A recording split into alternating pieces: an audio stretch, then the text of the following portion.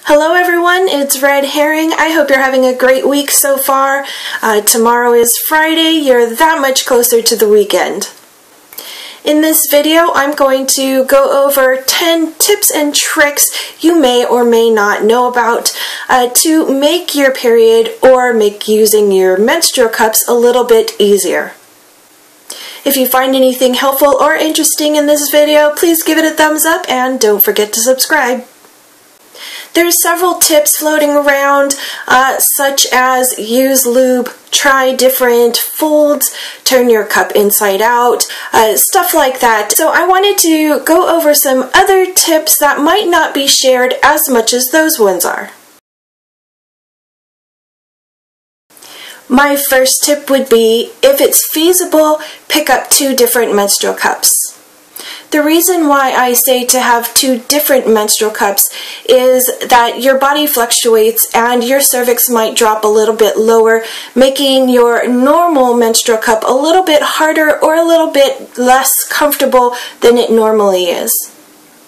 In that case, you can try out your other menstrual cup and see if it feels a little bit more comfortable for you. You'll probably want to get either a different brand, a different shape, or a different size. Personally, I have at least three that I like to grab for at any given time.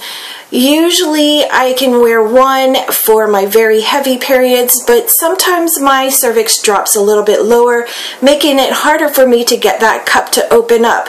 And instead of fumbling with it, I just go ahead and move on to another cup that inserts easier during that time and feels just as comfortable. My second tip would be to bear down, either when you're inserting your cup or removing your cup.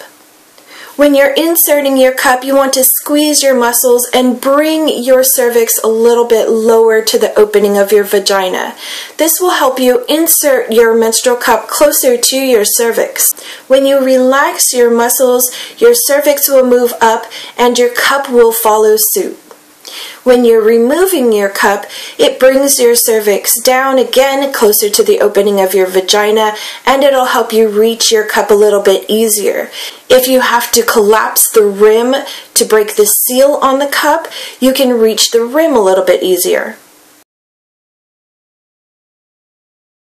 My third tip would be to insert your finger to check your menstrual cup. So what I do is I insert a finger and I push it to the side. And then I come back to where I started and I push it to the other side. What this is doing is it's spinning your menstrual cup. In the booklets, pamphlets, leaflets, whatever you get with your menstrual cup, it usually tells you to spin your cup.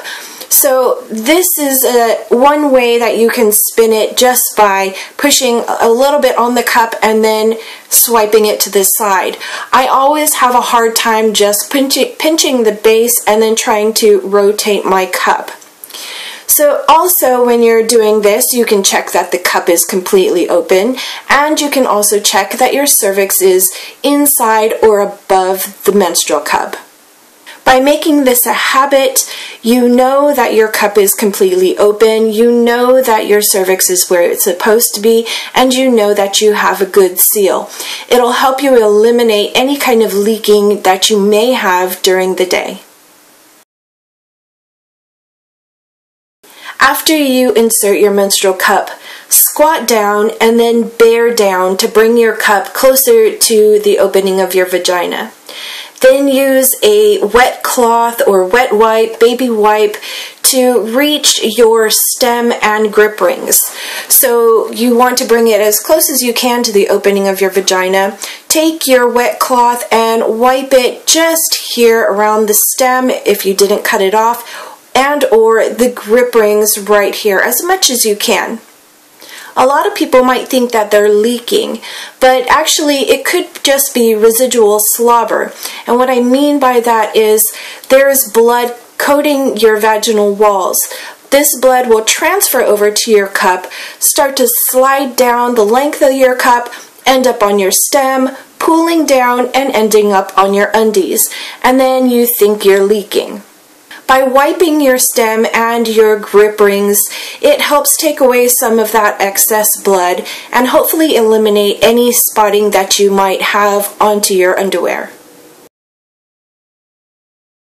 carry some wet wipes. You can find pre-moistened wet wipes in little packages that will fit nicely into a wallet, a clutch purse, a pocket, or a small wet bag.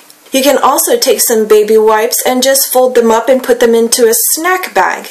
If you don't like to use disposables, you can always invest in some reusable cloth wipes or just cut out your own flannel squares. You can carry these around while they're wet or dry. Having any of those types of wipes allows you to wipe your cup down, wipe yourself down, or wipe your hands down so you can leave the stall without actually being caught red-handed. If you're going to be out a good part of the day, make sure you empty your cup before you leave. This will give you a fresh cup and allowing you the full capacity of the cup while you go on with your day. You won't have to worry about if your cup is almost full or if you need to find a stall soon to empty it. A lot of times when I dump out my menstrual cup at home, I find that my blood will stick to the bottom of the toilet bowl. And it's no big deal when I'm at home because I'm usually the only one home. So I can flush the toilet and leave the blood there. And over the course of the day, I'll flush the toilet again and I'll just keep removing that blood. Uh, but if you're out someplace else, at a buddy's house or out in public, you might flush that toilet and the blood stays there so you flush it again and maybe again. So to avoid doing that and wasting water, before you empty your menstrual cup or before you even sit down on the toilet, cover the water with a thin layer of toilet paper. Then you can empty the contents of your menstrual cup onto the toilet paper without the blood sticking to the bottom of the toilet bowl. Then when you flush the toilet, your blood inside of the toilet paper will also be flushed out with the water. I know that a lot of us get stringies that attach us like an umbilical cord to our menstrual cups when we're trying to empty our cups out. If you find this a problem, before you even sit down to empty your cup, have some toilet paper ready in your other hand. Then when you remove your menstrual cup, you have the toilet paper to swipe that blood off and detach yourself from your menstrual cup. You can finish dumping out your cup and just throw the toilet paper into the toilet. You might find that some menstrual cups stain easier or faster than some of the other menstrual cups. To help stop that staining, first you want to rinse your menstrual cup in cold water. This will help stop the stain from setting into your menstrual cup. After all of the blood is rinsed off, you can go ahead and wash your menstrual cup in hot water if you prefer. The final tip that I'd like to leave you with is to find a really good period tracker. There are some free trackers, there are some low cost trackers, and there's some very expensive trackers. One of the very expensive trackers I still really want to get. It's called the Bella Beat, and I'll go ahead and leave their link down in the description if you're interested in finding out any more information about them. They don't only track your menstrual period, so please do check out that information if you're curious. I have tried some other trackers, but the tracker that I use currently and the one that I like the most is the Clue app. With the Clue app, it'll send you a notification when to expect your period so you're never unprepared. It tracks your period and it also tracks your ovulation.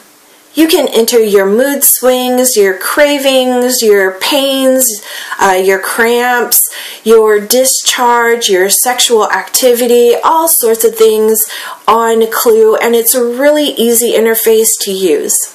Well, that wraps up my 10 tips and tricks to help you have an easier menstrual cup experience and or period.